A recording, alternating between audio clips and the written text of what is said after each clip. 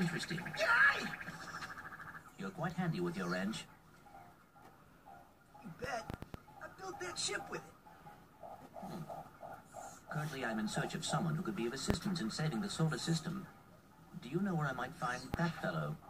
Well, he's on the radio every week. Other than that, no. Hey, what's with all this save the solar system stuff anyway?